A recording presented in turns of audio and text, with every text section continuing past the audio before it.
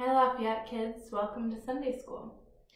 Since we're doing Sunday School from my house today, the candle that we're going to light is my favorite candle that my best friend Maddie made for me.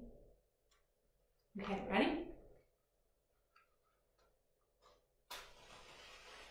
Here is the spark of Father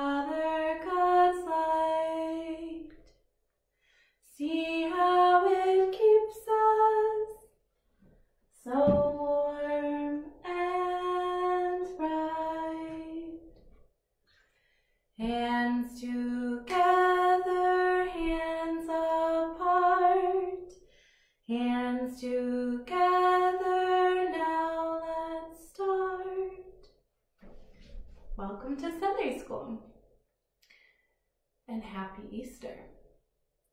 Our affirmation today is My true self is ever new. Can you say that part with me? My true self is ever new. And the second part, I am eternal light, love, and joy. So let's say it all together. My true self is ever new. I am eternal light, love, and joy. Let's say it one more time. My true self is ever new. I am eternal light, love, and joy. So today's Easter. Why do we celebrate Easter? You guys know the story of how Jesus died on the cross and was buried and rose again three days later. So we celebrate his resurrection. Easter is a celebration of rebirth. What are some other things that are reborn in the springtime? How about flowers that have been asleep under the earth all winter? Those are reborn in the springtime. What about grass that turns green again? That's reborn. What else is born in the springtime? How about baby animals like baby bunnies? Those are born in the springtime too. Jesus' life taught us that no matter what happens, any changes that happen to us, or even deaths that happen, we can have eternal light, love, and joy.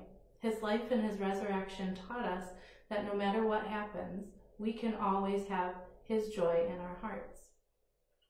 So there's lots of changes going on right now, right? You guys are doing your school from your houses. That's a big change. What other things are changing in your life?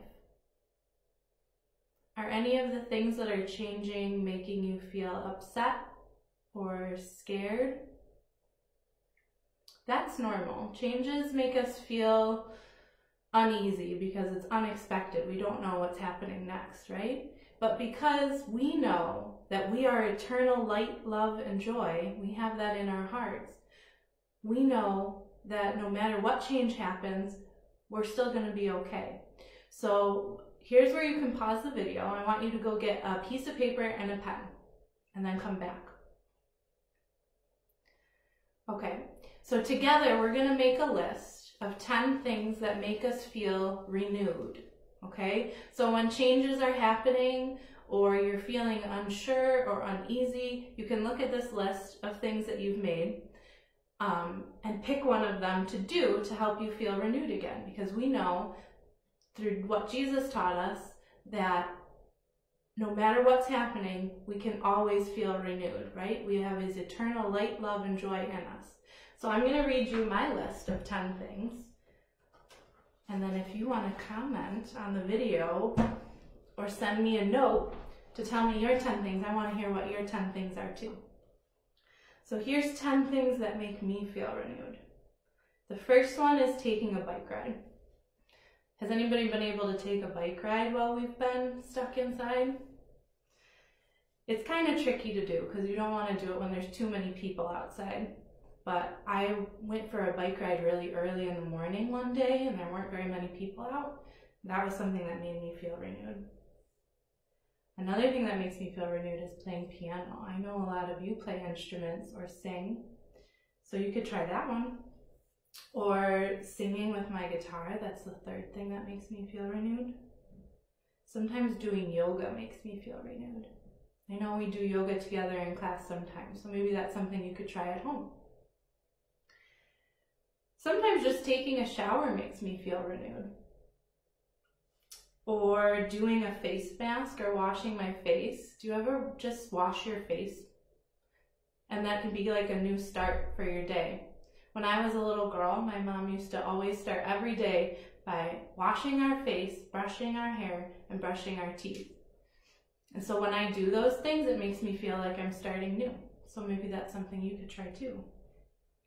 I like to plant things, to garden. That's another thing that makes me feel new again. Or cooking a fancy dinner.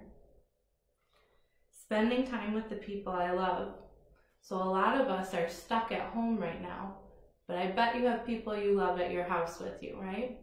So maybe you could pick out a board game to play together or find some game that you could do together that makes it like you're really spending time together, not just watching TV together. How about dancing to good music? That one's my last one. I've been doing that a lot since we've been stuck at home. I like to put concerts on the TV of bands that I really like, and then I just dance all by myself. You could try that at home too. It might help. It might make you feel renewed. Okay, I'm going to read a story for you guys, and then I have a song, and we'll be all done.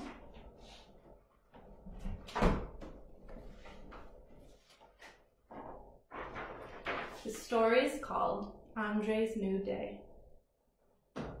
Yesterday had not been good at all. He had such high hopes, and nothing turned out the way he wanted.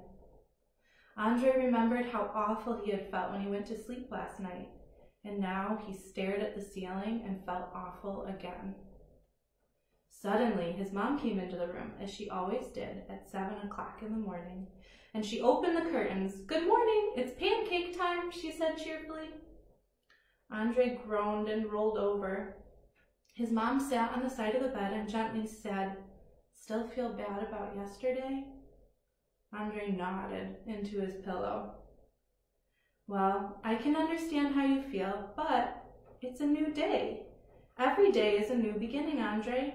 She gave him a pat and left the room. Andre thought about what his mom said as he got dressed and ate his pancakes. He liked the idea of starting new and leaving yesterday behind. On his way to school, he noticed all the daffodils coming up in the neighborhood. His dad had told him how the flowers die on top but the bulbs hold the energy underground and bloom again in the spring. This year, there were even more than last year. As Andre walked, he tried to think about making his walk to school new and different from all the other times that he had walked the same way to school. He usually looked down at his feet, but today he looked ahead. There were other kids walking to school, and he counted how many he could see. There were seven on this side of the block and four on the other side. There was also a woman with a baby in a stroller and a dog on a leash. They were all starting a new day. Andre stopped at the corner and a squirrel dashed up a tree right next to him. He knew squirrels hibernate during the winter and come out in the spring. This one disappeared into a hole in the tree. Andre wondered if it had babies in it. His watch beeped for eight o'clock. Fifteen minutes to get to school. The thought came into his mind that the new hour was another new beginning. How could he how could he be new in this hour? He decided to look up. The trees were swaying in a soft breeze, and the clouds were huddled together as if they were planning their new day. As he watched, the clouds changed and became a new shape. He took the next block at a fast run and felt the cool air on his face. When he stopped at the corner, his heart was beating fast. It felt like a happy beat. And Andre realized that he was smiling. His breath was faster too, and he enjoyed filling up his lungs with new air. Another thought occurred to him. Every breath was like a new beginning too. He imagined the sadness that he felt yesterday leaving him with each breath out and each breath in as he brought in more sunshine and more smiles. The last block to school was the busiest part of the walk. He went past a car wash and saw the men drying off the cars as they came out of the wash. They looked so clean and shiny like new cars. As Andre approached the school, his friends were calling and waving to him. He smiled and waved back with enthusiasm. The awful feeling from yesterday was gone, and he felt fresh and happy inside. It was a new day. Have you ever felt so bad about something that you didn't want to get out of bed? That's happened to me before. It's not a good feeling, right? What do you think Andre, what do you think helped Andre feel better by the time he got to school? I think he was realizing on his walk to school that this was a new day, right? He didn't have to worry about the stuff that happened yesterday anymore because this was a new chance. He was starting over. All right. So before I say goodbye, I'm going to sing a song for you. It's an Easter song for today. Um, and it's about Jesus rising from the dead and also about how things grow in the spring. It's called Now the Green Blade Riseth. Do you know what that means? The green blade is like grass or wheatgrass in this song. And it's coming up out of the ground. And if you look outside, you'll see the green grass is coming up too.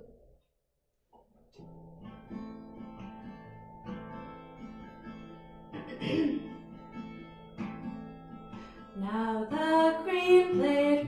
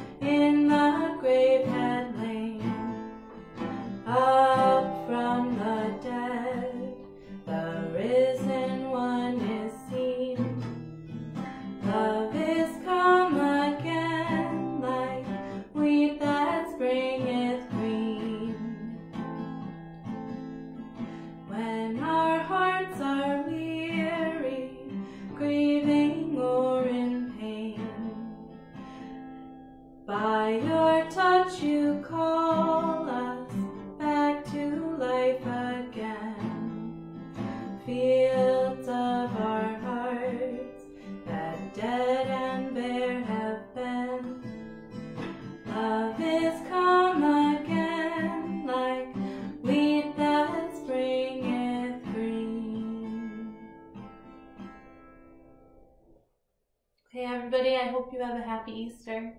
See you soon.